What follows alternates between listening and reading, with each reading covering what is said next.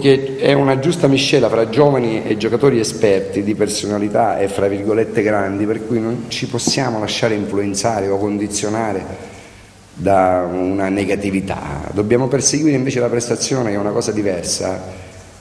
Eh, lo sappiamo, cioè io non vedo differenze, noi non possiamo non giocare con lo stesso accanimento domani, la prossima, la prossima ancora, perché dovremmo giocare con più accanimenti grandi? Eh? Lo, lo, dice la classifica.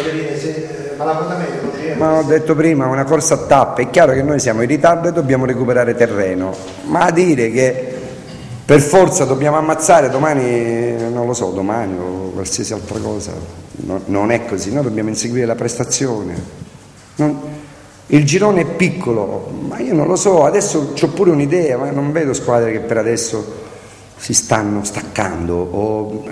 È sempre difficile fare paragoni perché siamo all'inizio, quindi credo che ci sarà come sempre grande equilibrio, conterà chi ha la capacità di fare due, tre, quattro vittorie consecutive, dare continuità ai risultati, noi siamo un po' indietro, ma io non penso al risultato, penso a, far salire di tono la nostra prestazione, tutto qua. Poi ripeto ancora una volta, se l'ambiente vive tutto estremizzando, noi non siamo estremi, si è un po' abituata e pensa che tutto è subito. Io l'ho detto già all'inizio, noi non lo pensiamo che tutto è subito, ma noi sappiamo che dobbiamo migliorare diverse cose che sono quelle che vi ho detto e sappiamo anche, l'ho detto la settimana scorsa, che abbiamo le, le qualità anche attraverso il lavoro, la costanza, la motivazione, il gruppo, tanti aspetti, tante componenti, per essere passo dopo passo sulla strada del miglioramento e per essere, questo è il nostro obiettivo, alla fine davanti a tutti.